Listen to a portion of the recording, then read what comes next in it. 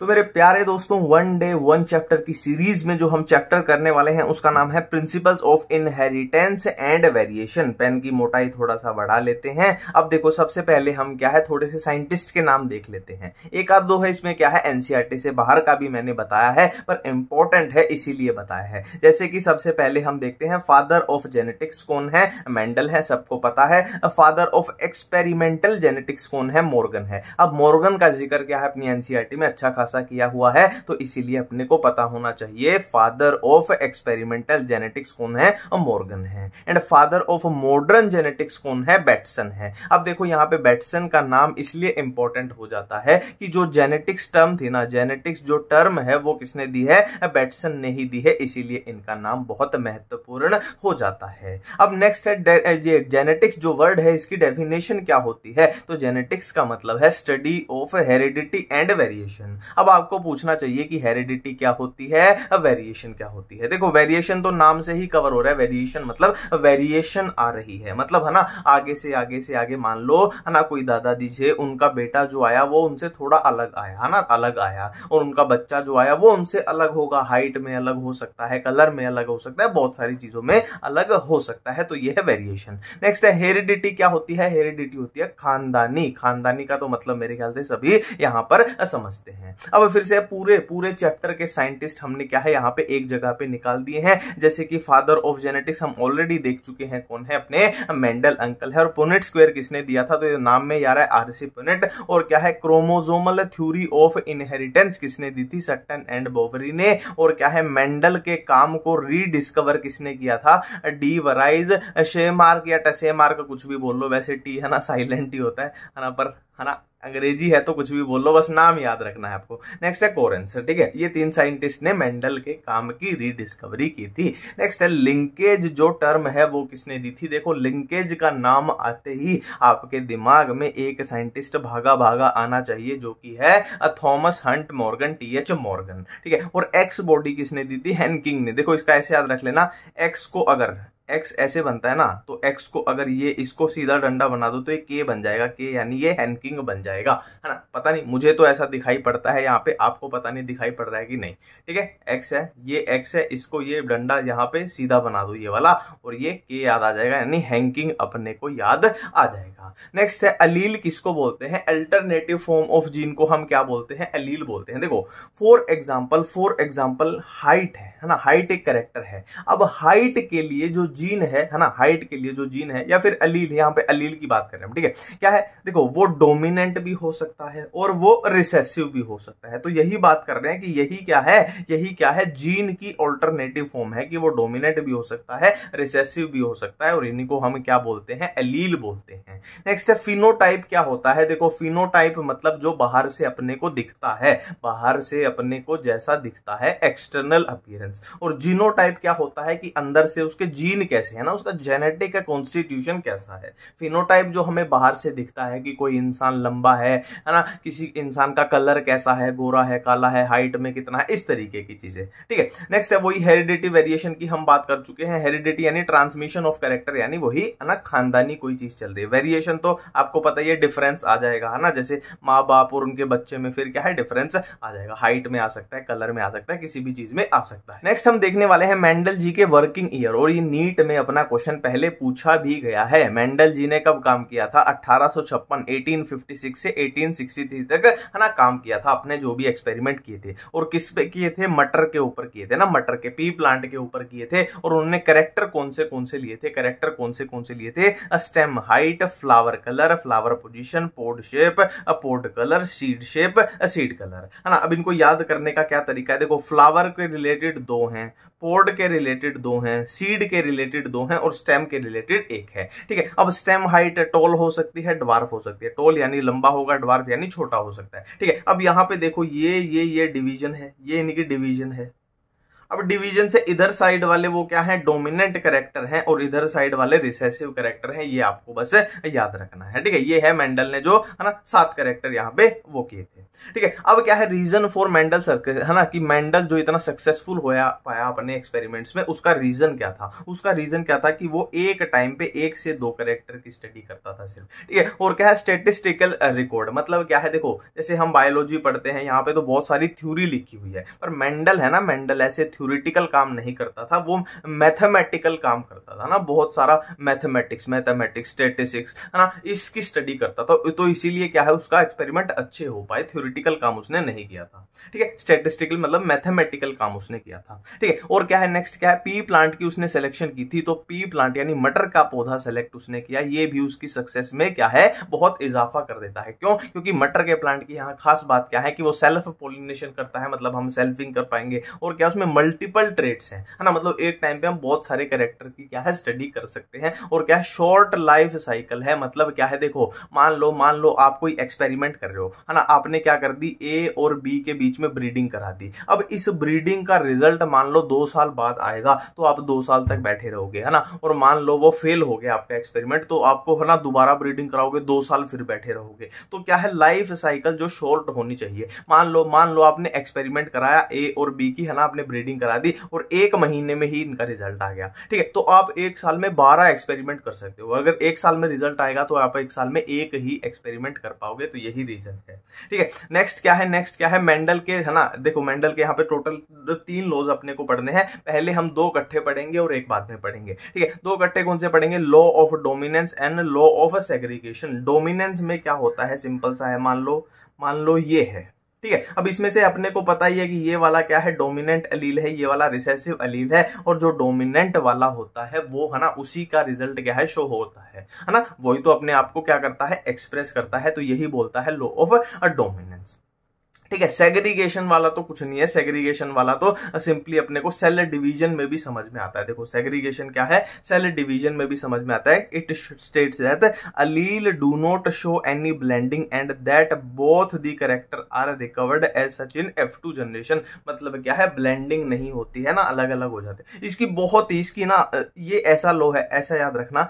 आपसे पूछ लिया जाए कि मेंडल का ऐसा लो बताओ जिसमें एक्सेप्शन होने का चांस नहीं होता है या बहुत ही कम होता है तो वो है लो ऑफ़ सेग्रीगेशन ठीक है, अब नेक्स्ट हम देखने वाले हैं लो ऑफ़ डोमिनेंस की एक्सेप्शन क्या क्या होती है incomplete dominance and codominance इसमें क्या क्या होता है? देखो इनकम्प्लीट डोमिनेंस में क्या होता है? देखो इनकम्प्लीट इनकम्प्लीट यानी, है ना कंप्लीट तरीके से डोमिनेट नहीं कर पाया, क्या नहीं एलीन नहीं कर पाया. देखो, ये अपना पेरेंट है, देखो, इसमें क्या है? रेड कलर है मतलब क्या है? अगर अगर अगर डोमिनेंट अलील आ गया तो वो रेड कलर अपने को दिखना चाहिए और रिसेसिव में क्या है? व्हाइट कलर है. तो यहाँ पे क्या है, देखो, अगर ये प्रोजेनी बनती है तो ये प्रोजेनी में अपने पास अगर डोमिनेंट अलील प्रेजेंट है तो रेड कलर इसका होना चाहिए था, है ना? यहाँ पे क्या है, इसका कलर कैसा होना चाहिए था? रेड होना चाहिए था, क्योंकि डोमिनेंट अलील प्रेजेंट है। तो इसमें इनकम्प्लीट डोमिनेंस में क्या होता है कि जो डोमिनेंट अलील है, वो अपने आप को कंप्लीटली डोमिनेट नहीं कर पाता है। तो रिज़ल्ट अपने को, देखो, यहाँ पे रेड था, यहाँ पे व्हाइट था, और अपने को प्रोजेनी में ना तो रेड दिखाई दिया, ना ही व्हाइट दिखाई दिया। क्या दिखाई दिया? है, पिंक दिखाई दिया है। मतलब है ना, बिल्कुल ही अलग आ गया है, बिल्कुल ही अलग कलर आ गया है है ना। अब यहाँ पे को डोमिनेंस में क्या है, देखो, को मतलब होता है साथ में, को मतलब होता है साथ में। मतलब क्या है, साथ में क्या है, मान लो इधर रेड कलर का एक पेरेंट था, इधर एक ब्लैक कलर का था तो ना तो रेड डोमिनेट कर पाएगा, ना ही ब्लैक पूरे तरीके से डोमिनेट कर पाया। दोनों ने क्या कर लिया, आधा आधा, दोनों ने हाफ़ हाफ़ कर लिया, आधा इसने डोमिनेट आधा इसने डोमिनेट को मतलब दोनों साथ में आ चुके हैं, है ना। अब इसके एग्ज़ाम्पल देखे तो इनकम्प्लीट डोमिनेंस के एग्ज़ाम्पल है मिराबिलिस जलापा यानी four o'clock plant antirrhinum majus यानी स्नैपड्रैगन को डोमिनेंस के एग्ज़ाम्पल है ए बी ब्लड ग्रुप है ना? किसी का ब्लड ग्रुप है, क्या है? ए बी है। मतलब ए भी डोमिनेट आधा कर चुका है और बी भी कर चुका है। Sickle cell anaemia and coat colour in cattle next हम मल्टीपल अलील की बात कर रहे हैं। देखो नॉर्मल कंडीशन में क्या होता है? एक जीन की ऑल्टरनेटिव कॉपी हमने बात की थी, है ना? तो दो ही तो कॉपी होती है इस तरीके से, या फिर हम बात कर लें इस तरीके से, ठीक है? बट अगर अगर दो से ज़्यादा कॉपी हो जाए, ठीक है? मोर देन टू अल्टरनेटिव है ना? क्या है, दो से ज़्यादा कॉपी हो जाए तो उसी को तो बोलेंगे मल्टीपल मल्टीपल क्या है? मल्टीपल क्या है ना? बहुत सारे, है ना? और अलील है ना? जैसे कि हमें A B O blood group में देखने को मिलता है कि ये भी हो सकता है ना? आई ए और आई बी और आई बी हो सकता है, ठीक है? नेक्स्ट हम बात करते हैं पोलीजेनिक इनहेरिटेंस देखो, नाम से ही पता लग रहा है पोली मतलब पोली मतलब एक से ज़्यादा जेनिक मतलब जीन मतलब क्या है? मतलब क्या है, एक करेक्टर के लिए एक से ज़्यादा जीन जब क्या करें है ना? काम करें देखो सिंपल सा है, यहाँ पे फंडा बताऊँगा आपको मैं कंफ्यूजन से निकलने का। इसके तो नाम से ही कवर हो रहा है। भाई रबड़ कहाँ कहीं आ जा देखो। पोली मतलब एक से ज़्यादा, जीन मतलब जीन मतलब एक से ज़्यादा जीन एक करेक्टर के लिए कंट्रोल करें। और इसके ऑपोजिट कंडीशन अगर मैं कर दूँ कि एक से ज़्यादा करेक्टर के लिए एक जीन काम करें तो उसको हम प्लियोट्रोपिक जीन बोल देते हैं प्लियोट्रोपिक तो पोलीजेनिक इनहेरिटेंस का ठीक ऑपोजिट कर दो तो प्लियोट्रोपिक जीन बन जाता है कि एक जीन है और एक से ज़्यादा करेक्टर है। और यहाँ पे ज़्यादा जीन है और एक ही करेक्टर है। नेक्स्ट देखिए सेक्स डिटर्मिनेशन यहाँ पे तीन टाइप से अपने को पढ़नी है है ना? एक ये वाली, एक ये वाली, एक ये वाली, है ना? ये वाली तो अपने ह्यूमंस में प्रेजेंट होती है और यहाँ पे होमोजाइगस कंडीशन फीमेल होती है और हेट्रोजाइगस मेल होती है. और यहाँ पे भी होमोजाइगस फीमेल है बट हेट्रोजाइगस में क्या है? यहाँ पे ह्यूमंस में वाई होता है, पर यहाँ कोई भी क्रोमोजोम नहीं है. एक्स ओ मान लो या एक्स ज़ीरो बोल लो. ठीक है? और इसमें क्या है? मज़े की बात क्या है? इसमें है क्या कि होमोजाइगस मेल है और अपने अंदर क्या होता है? होमोजाइगस फीमेल होती है. और क्या है? हेट्रोजाइगस क्या है यहाँ पे? अब फीमेल है। एग्ज़ाम्पल की बात करें तो एक्स एक्स एक्स वाई में ह्यूमंस आ जाएँगे और एक्स ओ वाले में ग्रास ओपर यानी इंसेक्ट वो सब आ जाएँगे अपने और जेड डब्ल्यू वाले सिस्टम में अपने बर्ड्स आ जाएँगे। अब ये हनी बी की बात करें तो देखो सिंपल सा फ्लो पकड़ना देखो। ओवम था, ठीक है? फीमेल ओवम था, ओवम कैसा होता है हेप्लोइड होता है। अब देखो, ओवम के साथ दो पॉसिबिलिटी बन सकती है, दो पॉसिबिलिटी बन सकती है। या तो क्या है फर्टिलाइजेशन जो है वो नहीं होगी या फर्टिलाइजेशन हो जाएगी। अब फर्टिलाइजेशन नहीं हुई है मतलब ओवम को मेल गेमीट नहीं मिला फर्टिलाइजेशन हो गई है मतलब मेल गेमीट जो है वो अब मिल गया है। अब अगर मेल गेमीट ना मिले, यानी फर्टिलाइजेशन अगर ना हो तो क्या बन जाता है पार्थेनोजेनेसिस मतलब बिना फर्टिलाइजेशन है ना? ये ही क्या है? बिना फर्टिलाइजेशन के क्या बन जाएगा? ड्रोन बन जाएगा। ड्रोन बोल लो या फिर मेल बोल लो। और ये हेप्लोइड क्यों बना है? तो ज़ाहिर सी बात है, अगर फर्टिलाइजेशन ही नहीं हुई है तो ये हेप्लोइड से हेप्लोइड ही बन चुका है। और ये क्या है? ड्रोन जो है अपना प्रोड्यूस अगर मेल है तो ये मेल गेमीट बनाएगा, यानी ये फर्टाइल होगा। अब फर्टिलाइजेशन अगर हो जाती है तो ज़ाहिर सी बात है, हो जाती है तो यहाँ पे स्पर्म आया होगा ना, ये मेल गेमीट आया होगा ना यहाँ पे। तो ये एक गेमीट ये एक गेमीट दोनों मिलके क्या बना देंगे? डिप्लोइड फीमेल बन जाएगी। अब फीमेल में भी फीमेल में भी वैरायटी है यहाँ पे। अगर फीमेल अगर कोई फीमेल क्या है बी ब्रेड को खाती है, या दूसरा ऑप्शन क्या है रॉयल जेली को खाती है। अब नाम में ही आ रहा है रॉयल जेली रॉयल मतलब क्या है, ये रानी बनने वाली है क्वीन बनने वाली है। और जो बी ब्रेड है ना नॉर्मल सा खाना खाती है, वो वर्कर बन जाएगी, काम करेगी। ठीक है? अब वर्कर कैसी होती है? स्टेराइल होती है मतलब इसका काम बच्चे पैदा करना तो नहीं है, ये सिर्फ़ काम करेगी, है ना, फूलों पे जाएगी और उनका रस चूस के, है ना, अपने छत्ते तक आएगी। और क्वीन रानी है, इसका काम आराम से बैठे बैठे इसका एक ही काम है, ओवम को प्रोड्यूस करना। है ना फर्टाइल है, ओवम को प्रोड्यूस करना। और ये ओवम फिर कहाँ चला जाएगा? ये ओवम फिर ये आ जाएगा और सेम साइकिल चलती रहेगी। और मेल गेमिट कहाँ आ रहा था? ये अपना मेल गेमिट आ रहा था। ये सारी, है ना, क्या है? कंफ्यूजन यहाँ पे क्लियर है कि कौन डिप्लॉयड है, कौन हेप्लॉयड है, कौन स्टेराइल है, कौन फर्टाइल है। ठीक है नेक्स्ट हम लिंकेज की बात करें तो लिंकेज का नाम आते ही दो चीज़ें अपने माइंड में आनी चाहिए। मॉर्गन एंड ड्रोसोफिला मॉर्गन ने डिस्कवरी की थी किसके अंदर? ड्रोसोफिला के अंदर डिस्कवरी की थी। ये क्या है? फ़िज़िकल एसोसिएशन ऑफ़ जीन देखो नॉर्मली होना क्या चाहिए? अब यहाँ पे मैं आपको बताता हूँ law of independent assortment law of independent assortment देखो, होना क्या चाहिए? होना क्या चाहिए? होना क्या चाहिए? होना क्या चाहिए? सिंपल सी बातें समझो सिंपल सी बातें समझो। देखो ये है, मान लो ये डाई हाइब्रिड है अपने पास। अगर इसमें इंडिपेंडेंट असोर्टमेंट होती है तो कितने टाइप के गमीट बन सकते हैं? तो चार टाइप के गमीट बन सकते हैं कि सारे क्या है सेपरेट हो जाएँगे। सारे क्या है सेपरेट हो जाएँगे सेपरेट हो जाएँगे। बट अगर यहाँ लिंकेज प्रेजेंट है तो लिंकेज में क्या होगा? लिंकेज नाम से ही पता लग रहा है, लिंक हो चुके हैं, लिंक हो चुके हैं तो सेपरेशन में दिक्कत आएगी। है ना? सेपरेट वो नहीं हो पाएँगे सेपरेट वो नहीं हो पाएँगे तो जो गेमीट हैं वो कम बनेंगे। गेमीट हैं जो वो कम बनेंगे। तो एक सिंपल सा एग्जांपल बताता हूँ आपको, एक रफ एग्ज़ाम्पल मान लो ये एक सर्कल है, ये दूसरा सर्कल है सर्कल बोल लो या बोल बोल लो या कुछ भी बोल लो, ठीक है? और मान लो ये ऐसे जुड़े हुए हैं। ऐसे जुड़े हुए हैं और इसमें क्या है लिंकेज जो है वो प्रेजेंट नहीं है। और मैं आपको बोल दूँ, इसको तोड़ दीजिए तो आप यहाँ से तोड़ दोगे, यहाँ से तोड़ दोगे, यहाँ से तोड़ दोगे और ये चार सर्कल अपने को अलग अलग मिल जाएँगे। ठीक है? और दूसरी तरफ़ मान लो मैं आपको एग्ज़ाम्पल बताऊँ कि ये चार सर्कल हैं, चार गोले गोले हैं। ठीक है? और वो आपस में ऐसे जुड़े हुए हैं, आपस में ऐसे जुड़े हुए हैं, ठीक है? अब यहाँ पे मान लो मैं बोल दू, यहाँ पे लिंकेज प्रेजेंट है, यहाँ पे लिंकेज प्रेजेंट है लिंकेज प्रेजेंट है मतलब क्या है? यहाँ से ये बॉन्ड नहीं टूट पाएगा, यहाँ से ये नहीं टूट पाएगा, ये सिर्फ़ यहाँ से टूट सकता है तो ये कैसे टूट जाएगा मान लो? ऐसे टूट जाएगा, ये ऐसे टूट जाएगा। तो आपसे पूछ ले कोई कि कितने टाइप के सर्कल बने तो यहाँ पे एक, दो, तीन, चार बन रहे हैं और जहाँ पे लिंकेज प्रेजेंट है, वहाँ पे सिर्फ़ दो टाइप के बने। तो यही है गेमीट वाली फॉर्मेशन कि जहाँ पे लिंकेज नहीं होगी, वहाँ पे गेमीट भी ज़्यादा बन रहे हैं और गेमीट ज़्यादा बन रहे हैं तो वेरिएशन के चांस ज़्यादा हैं। अब यहाँ पे आपने गेमीट का नंबर ही कम कर दिया तो ज़ाहिर सी बात है आपके वेरिएशन के चांस भी कम हो पाएँगे, है ना? अब देखो लिंकेज क्या होती है? देखो लिंकेज क्या होती है? जितनी ज़्यादा क्रॉसिंग ओवर होगी ना क्रॉसिंग ओवर जितनी ज़्यादा होगी लिंकेज उतनी कम होती है। लिंकेज उतनी कम होती है। और जितना ज़्यादा जीन्स के बीच में, देखो सिंपल सी बात है।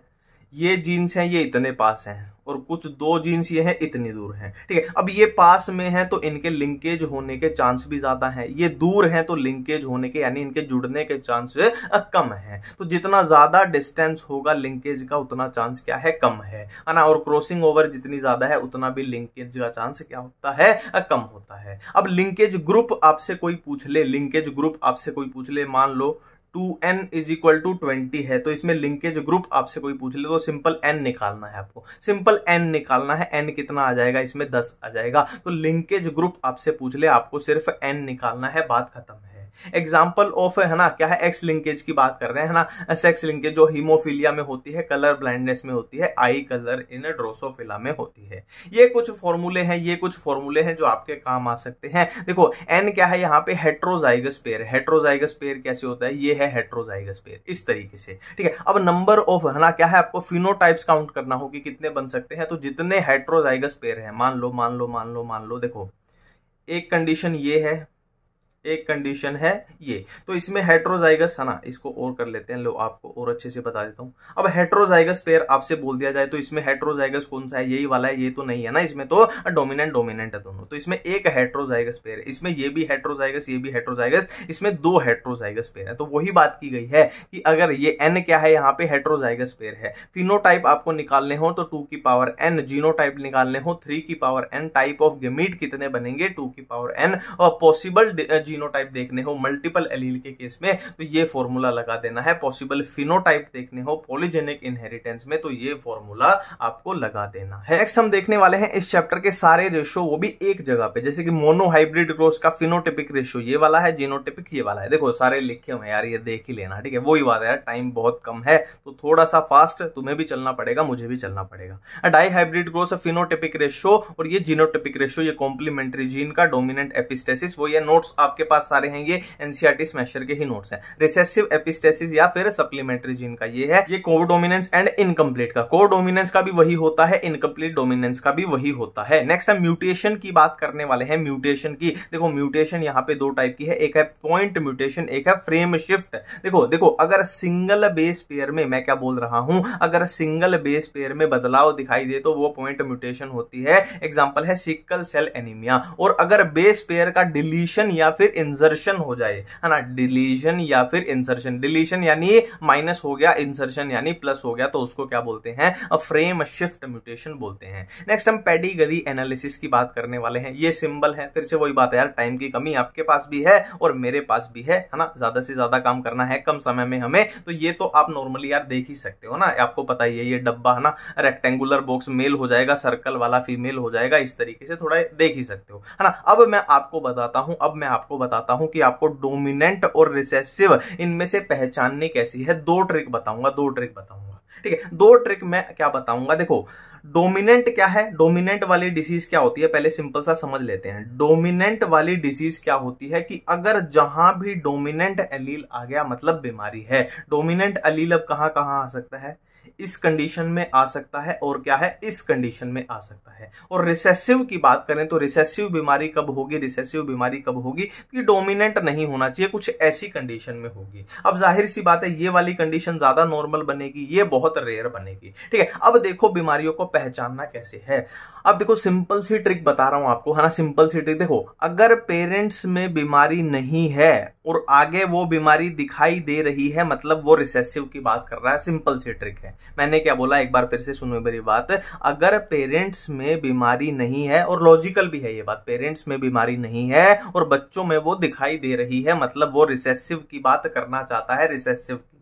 डोमिनेंट में क्या होगा? अगर पेरेंट में बीमारी है तो आगे वो है दिखाई पड़ेगी। बट अगर क्या है डोमिनेंट वाले में अगर पेरेंट ठीक आ गए पेरेंट ठीक का क्या मतलब है? यहाँ पे देखो डोमिनेंट में अगर पेरेंट को बिना बीमारी का होना है तो ऐसा होना पड़ेगा। और ऐसा एक बार हो गए ये वाला पेरेंट भी, ये वाला पेरेंट भी, मगर अगर देखो, मगर अगर नहीं, अगर आप इसमें क्रॉस कराओगे तो आगे आगे कितना भी क्रॉस करा लो, आपके पास डोमिनेंट वाला आ ही नहीं सकता। मतलब बीमारी आगे आ ही नहीं सकती है। तो यही सिंपल सी ट्रिक है इसकी इसकी, किसकी किसकी किसकी पेडागरी एनालिसिस की। नेक्स्ट हम जेनेटिक डिसऑर्डर की बात करने वाले हैं। ठीक है, देखो जेनेटिक डिसऑर्डर्स दो टाइप के होते हैं। एक मेंडेलियन जेनेटिक डिसऑर्डर्स एक क्रोमोसोमल ठीक है मेंडेलियन में अपने पास कौन से कौन से आएँगे? Colour blindness haemophilia sickle cell anaemia phenylketonuria and thalassaemia और क्रोमोसोमल की बात करें तो Down syndrome Klinefelter syndrome and Turner syndrome ठीक है, अब देखो यहाँ पे मेंडेलियन जो डिसऑर्डर है ना मेंडेलियन जो डिसऑर्डर है, इनमें एक बहुत बड़ी कन्फ्यूज़न रहती है, बहुत बड़ी कंफ्यूजन रहती है तो उसको मैं डायरेक्ट आपके सामने कवर कर दूँ। देखो, जो ये टोटल है, जो ये टोटल है मेंडेलियन वाले, इसमें से सेक्स लिंक्ड रिसेसिव कौन से हैं एंड ऑटोसोमल लिंक्ड रिसेसिव कौन से हैं, ये एक बहुत बड़ी कंफ्यूजन रहती है बार बार कंफ्यूज होता है। तो एक ही बार में इस कंफ्यूजन को खत्म करो कि कलर ब्लाइंडनेस एंड हीमोफीलिया जो है, वो सेक्स लिंक्ड रिसेसिव है सेक्स लिंक्ड रिसेसिव है and sickle cell anaemia thalassaemia phenylketonuria thalassaemia कौन से हैं? ऑटोसोमल लिंक्ड रिसेसिव हैं। पहली कंफ्यूजन बिल्कुल क्लियर है। अब हम आगे चलते हैं। अब हम क्या करेंगे? अब हम क्या करने वाले हैं? जो ये मेंडेलियन डिसऑर्डर है, इनको बारी बारी से याद करने की ट्रिक हम करने वाले हैं। तो सबसे पहला डिसऑर्डर है कलर ब्लाइंडनेस ठीक है? अब इसके लिए अपनी सिंपल सी ट्रिक क्या है? बहुत ही आसान ट्रिक है। देखो, जो कलर होता है तो कलर को तो कलर को हम हिंदी में क्या बोलते हैं? कलर को हम हिंदी में बोलते हैं रंग बोलते हैं। कलर को हम हिंदी में रंग बोलते हैं। अब रंग के आर से अपने को क्या याद आएगा? रेड याद आएगा और जी से अपने को क्या याद आएगा? ग्रीन याद आएगा। मतलब क्या होता है भाई? कलर ब्लाइंडनेस के अंदर रेड और ग्रीन आईज में जो रेड और ग्रीन कलर के लिए कौन होते हैं, उनमें उनमें प्रॉब्लम होती है, उनमें प्रॉब्लम होती है। ठीक है? बिल्कुल क्लियर है, बिल्कुल ही क्लियर है। नेक्स्ट अपना डिसऑर्डर है हीमोफीलिया नेक्स्ट अपना डिसऑर्डर है हीमो हीमोफीलिया ठीक है? तो अब हम बात कर रहे हैं हीमोफीलिया की, ठीक है? तो इसके लिए कुछ भी ट्रिक की ज़रूरत नहीं है ऑटोमेटिक इसमें सब कुछ छुपा हुआ है। देखो, इसमें दो वर्ड हैं, एक है हीमो, एक है फिलिया, एक है हीमो, एक है फिलिया। अब हीमो किससे रिलेटेड होता है, हमें पता है, देखो हीमोग्लोबिन हमें पता है, ये ब्लड से रिलेटेड होता है। और फिलिया, देखो, फिलिया जो होता है ना, देखो, दो वर्ड होते हैं, दो वर्ड होते हैं, एक तो होता है फिलिक, एक होता है फिलिक और एक होता है फोबिक एक होता है फोबिक तो फिलिक का मतलब क्या होता है? फिलिक का मतलब होता है प्यार अट्रैक्शन है ना? लायोफिलिक लायोफोबिक और फोबिया का मतलब क्या होता है? डर, है ना? आपने सुना होगा हाइड्रोफिलिक मतलब पानी से प्यार करने वाला हाइड्रोफोबिक मतलब पानी से डरने वाला। अब हीमोफिलिक हीमोफिलिया अब ब्लड से प्यार करने वाला, ये क्या हो जाएगा? लव हो जाएगा। ये क्या लव हो जाएगा? ठीक है, अब क्या है? हीमोफिलिया मतलब ब्लड से प्यार करने वाला। अब ब्लड से प्यार कौन करेगा? ज़ाहिर सी बात है, जिसको क्लोटिंग डिफेक्ट होगा, जिसको क्लोटिंग डिफेक्ट होगा। जिसको क्लोटिंग डिफेक्ट होगा। वही तो ब्लड से प्यार करेगा, क्योंकि उसके पास खून है, बचता ही नहीं। एक एग्जांपल देख लेते हैं, देखो, ये कोई इंसान है ये कोई इंसान है, ये इसके दो हाथ हैं, ये इसके दो पैर हैं तो मान लो इसको कोई कट लग जाता है यहाँ पे और ब्लीडिंग स्टार्ट हो जाती है। तो जिसका क्लोटिंग मैकेनिज्म अच्छा है ठीक ठाक है, उसकी ये ब्लीडिंग रुक जाएगी थोड़े टाइम बाद बट जिसको क्लोटिंग में डिफेक्ट है, उसको क्या है, ये खून बहता रहेगा बहता रहेगा। तो जिसको क्लोटिंग डिफेक्ट है, उसको ब्लड से ज़ाहिर सी बात है, प्यार होगा। अब ब्लड से प्यार यानी हीमोफीलिया मतलब हीमोफीलिया में क्या होता है क्लोटिंग डिफेक्ट होता है सिंपल तरीके से अपनी ट्रिक ये कंप्लीट हो चुकी है। ठीक है, बिल्कुल ही सिंपल बातें चल रही है। नेक्स्ट अपना है सिक्कल सेल एनीमिया नेक्स्ट अपना है sickle cell anaemia sickle cell anaemia sickle cell anaemia sickle cell anaemia की बात कर रहे हैं। देखो, इसमें बेसिकली होता क्या है? जो अपने को याद रखना है, वो क्या है? इसमें होती है सब्सटीट्यूशन होती है। इसमें सब्सटीट्यूशन होती है। किसकी होती है? किसकी होती है? इसमें सब्सटीट्यूशन होती है। ग्लूटेमिक एसिड की होती है। और कौन करता है ये सब्सटीट्यूशन ये सब्सटीट्यूशन करता है वलेइन वलीन बोल लो वलाइन बोल लो, कुछ भी बोल लो। ठीक है? और कहाँ पे होती है? Eight six position eight six position किसकी? हीमोग्लोबिन की चेन पे। ठीक है सिक्कल सेल एनीमिया में क्या होता है? सब्सटीट्यूशन होती है किसकी? ग्लूटेमिक एसिड की। और ये सब्सटीट्यूशन करता कौन है? वलीन करता है। वलाइन बोल लो वलीन बोल लो कहाँ पे करता है? सिक्स पोजीशन पे किसके? हीमोग्लोबिन की चेन पे। अब इसको कैसे याद रखें? तो इसके लिए एक सिंपल सी ट्रिक है। देखो जी यहाँ पे अपने को जी याद रखना है। जी फॉर ग्लूटेमिक एसिड यहाँ पे अपने को वलीन याद रखना है। और यहाँ पे अपने को सिक्स पोजीशन याद रखनी है। अपना सारा अपने आप बन जाएगा। ठीक है, अब जी से अपने को याद रखना है गौतम गंभीर। देखो, एक गौतम गंभीर करके प्लेयर था ना? बहुत अच्छा सिंगल सिंगल लेके बहुत ही स्लो स्लो खेलता था सिंगल सिंगल लेके। और एक प्लेयर था वीरेंद्र सहवाग। अब वीरेंद्र सहवाग कैसे खेलता था, वो सबको मेरे ख्याल से पता है। ना? वो सिर्फ़ चौको छक्को में ही बात करता ना। फोर मारता था और सिक्स मारता था। ठीक है? अब ट्वेंटी ट्वेंटी की टीम थी तो उस टीम में गौतम गंभीर था, वीरेंद्र सहवाग नहीं था। अब गौतम गंभीर तो सिंगल सिंगल खेलेगा और अपने को चाहिए क्या? अपने को छक्के चाहिए। छक्के मारो छक्के मारो, चौके मारो। ठीक है? अब हुआ क्या? अब हुआ क्या? टीम के जो मैनेजर होते हैं, जो भी सिलेक्टर होते हैं उन्होंने क्या किया? गौतम गंभीर की सब्सटीट्यूशन कर दी वीरेंद्र सहवाग से कि भाई ये ये क्या है? सिक्सिस नहीं मार पा रहा, ये फोर नहीं मार पा रहा सिक्स नहीं मार पा रहा तो क्या है, इसकी सब्सटीट्यूशन कर दो, कौन ले आओ? वीरेंद्र सहवाग ले आओ। अब वीरेंद्र सहवाग बहुत सारे छक्के मारेगा, बहुत सारे छक्के मारेगा, बहुत सारे रन बनाएगा। ठीक है तो गौतम गंभीर की सब्सटीट्यूशन हुई किसने की? वीरेंद्र सहवाग ने की और कहाँ पे? सिक्स पोजिशन में मतलब छक्के मारने के लिए। ठीक है तो किसकी? जी फोर ग्लूटामिक एसिड की सब्सटीट्यूशन हुई किसने की? वीरेंद्र सहवाग ने, यानी वलीन ने की कहाँ पे? सिक्स पोजिशन पे हीमोग्लोबिन की चेन में। ठीक है, बिल्कुल सिंपल है, अपने आप ही सारी चीज़ें बन चुकी हैं। ठीक है नेक्स्ट बात करते हैं थैलेसीमिया की नेक्स्ट बात करते हैं थैलेसीमिया की नेक्स्ट बात कर रहे हैं थैलेसीमिया की। देखो, इसकी बहुत ही सिंपल ट्रिक है थैलेसीमिया की बहुत ही सिंपल सी ट्रिक है, एक ऑटोमेटिक उससे बन जाएगा कि हीमोग्लोबिन में चेन कम था। हीमोग्लोबिन में चेन हीमोग्लोबिन में चेन होती है ना, कौन सी कौन सी होती है? अल्फ़ा होती है और बीटा चेन होती है अल्फ़ा होती है और बीटा चेन हीमोग्लोबिन में चेन कम था।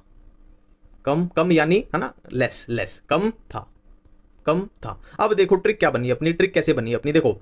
था से अपने को याद आ जाएगा थैलेसीमिया मतलब ये ट्रिक इसकी है, थैलेसीमिया की है ना? था से याद आ जाएगा थैलेसीमिया। अब थैलेसीमिया में होता क्या है, वो अपने को याद रखना है इस ट्रिक से। तो थैलेसीमिया में क्या होता है? हीमोग्लोबिन में चेन कम। हीमोग्लोबिन में चेन कम मतलब थैलेसीमिया में जो हीमोग्लोबिन की चेन होती है, उसकी जो प्रोडक्शन होती है, वो कम होती है। ठीक है? अब अल्फ़ा चेन में, अल्फ़ा चेन की प्रोडक्शन अगर कम होगी तो अल्फ़ा थैलेसीमिया हो जाएगा, बीटा चेन की प्रोडक्शन कम होगी तो बीटा थैलेसीमिया हो जाएगा। थैलेसीमिया में क्या होता है? हीमोग्लोबिन की चेन की प्रोडक्शन कम होती है। अब अल्फ़ा चेन की होगी तो अल्फ़ा थैलेसीमिया बीटा चेन की होगी तो बीटा थैलेसीमिया बहुत ही आसान है, बहुत ही सिंपल है।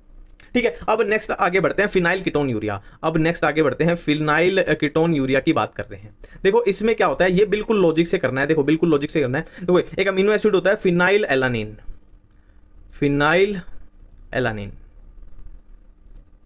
एलानिन। ठीक है? अब बिल्कुल हेल्दी जो बिल्कुल नॉर्मल है हेल्दी पर्सन है, स्वस्थ है एकदम, उसमें क्या होना चाहिए? फिलाइन एलानिन किसमें कन्वर्ट हो जाता है? किसमें कन्वर्ट हो जाता है? टाइरोसिन में कन्वर्ट हो जाता है।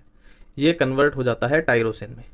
और इसको करता कौन है? एक एंजाइम होता है जो ये प्रोसेस करता है, ठीक है? बिल्कुल हेल्दी पर्सन में क्या होता है? फिनाइल एनालिन जो है, वो टाइरोसिन में कन्वर्ट हो जाता है टाइरोसिन में किसी एंजाइम की हेल्प से, ठीक है? अब हम अगर बोल दें, हम अगर बोल दें कि किसी को कोई बीमारी हो जाए, बीमारी कौन सी? फिनाइल कीटोन यूरिया हो जाए तो उसमें क्या हो जाता है? ये एंजाइम जो है, ये खत्म हो जाता है, बनता ही नहीं है ना? एक तरीके से इसकी कमी आ जाती है, बनता ही नहीं है, कुछ भी लगा लो, इस एंजाइम की कमी आ जाती है, ठीक है? तो इस एंजाइम की कमी आने से क्या होगा? ये प्रोसेस तो हो नहीं पाएगी टाइरोसिन तो बन नहीं पाएगा तो क्या बन जाता है? तो क्या बन जाता है? फिनाइल पायरुविक एसिड बन जाता है। तो क्या बन जाता है? फिनाइल पायरुविक एसिड बन जाता है। और इसी बीमारी को क्या बोलते हैं हम? फिनाइल केटोन यूरिया बोलते हैं। अब देखो मेंडेलियन डिसऑर्डर्स को याद करने की सारी ट्रिक्स देख चुके हैं। अब हमें बात करनी पड़ेगी क्रोमोजोमल डिसऑर्डर्स के बारे में। ठीक है तो इसमें बारी बारी से बात करेंगे। Down syndrome Klinefelter syndrome Turner syndrome देखो डॉन सिंड्रोम में क्या होता है? जो ट्वेंटी क्रोमोजोम है ना ट्वेंटी क्रोमोजोम है, उसकी क्या हो जाती है? ट्राइसोमी हो जाती है। हाँ देखो नॉर्मली क्या होता है? हर क्रोमोजोम की दो कॉपी होती हैं। हर क्रोमोजोम की दो कॉपीज होती हैं बट यहाँ पे ट्वेंटी फ़र्स्ट जो क्रोमोजोम है, उसकी ट्राइसोमी मतलब उसकी तीन कॉपी हो जाती हैं तो उसी को बोलते हैं डाउन सिंड्रोम ठीक है केलाइन फ़िल्टर में क्या होता है? देखो नॉर्मली मेल क्या होता है? नॉर्मली मेल कैसा होना चाहिए? ये होता है normal male X Y but Klinefelter में क्या हो जाता है? मेल कैसा हो जाता है? एक्स एक्स वाई हो जाता है, ये हो जाता है मेल टर्नर सिंड्रोम में बात करें तो नॉर्मल फीमेल जो है वो कैसी होनी चाहिए? एक्स एक्स होनी चाहिए। बट यहाँ पे एक एक्स क्रोमोजोम क्या है? अपसेंट होता है तो ये एक्स ज़ीरो एक्स ओ बोल रहे हैं फिर एक्स ज़ीरो सही रहेगा। ठीक है, ये होता है टर्नर सिंड्रोम। अब टर्नर और किलाइन फेल्टर में होता क्या है? देखो, ये होती है टर्नर सिंड्रोम किसमें होता है? फीमेल में होता है बट इसमें फीमेल के करेक्टर थोड़े अपसेंट होते हैं ना, क्योंकि एक एक्स क्रोमोजोम इसमें उड़ चुका है। उसमें फीमेल के सेकेंडरी सेक्शुअल करेक्टर अपसेंट होंगे। और केलाइन फेल्टर में बात करें तो होगा किसमें होगा तो मेल में होगा बट उसमें मेल के थोड़े गुण कम होते हैं और फीमेलनेस थोड़ी आ जाती है, जैसे कि गाइनेकोमेस्टिया ब्रेस्ट डेवलपमेंट और वो सब। ये कैलैन फ़िल्टर में देखने को मिलेगा। ठीक है? थैंक यू धन्यवाद।